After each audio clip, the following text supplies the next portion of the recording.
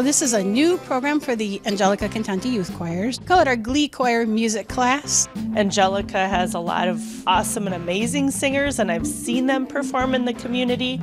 And so it was really cool that I feel like this has come full circle, and we have a music group for kids with different needs and special needs. Our artistic team at Angelica have talked about doing this for years. It was just about finding the funding for it. We got lucky and got some funding from the Minnesota State Art Board. I put together a grant and I was able to find fantastic music therapists to direct the class, and here we are.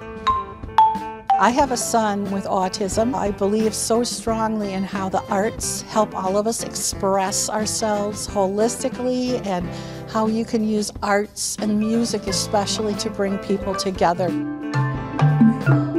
You see in this particular group the power of music. It transcends any language barrier. We have some that speak other languages in this group, and yet they all can understand that language of music.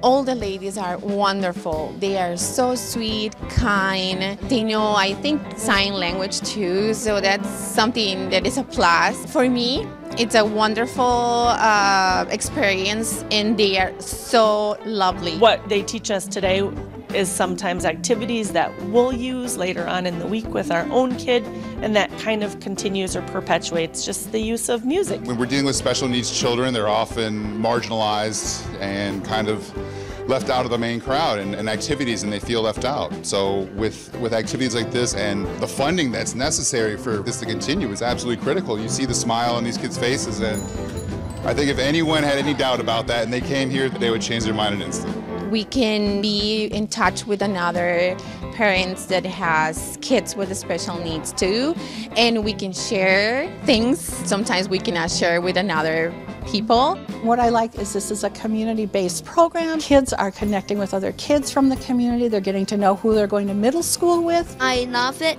It's the all of the music and friends. The scarf. Oh, with the wind? Yeah. Oh. For families with kids who love music, this is such a great opportunity for growth and just a new way of having fun with them. It's free. It's completely free. It's really open for anyone. And anyone that's grades 4 through 12 that likes to sing and likes music. This has been an 8-week class but singers are invited to start at any time.